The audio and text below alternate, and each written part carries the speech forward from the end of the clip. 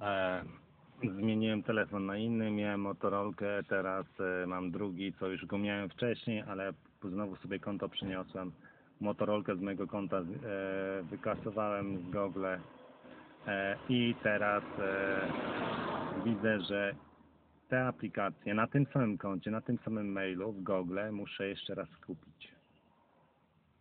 Czyli Google zaczyna już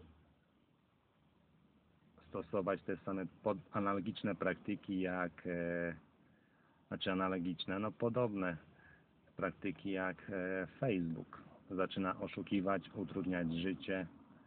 E, niedługo podejrzewam, że będą też, e, no już są, wyświetlenia e, filmów są modyfikowane.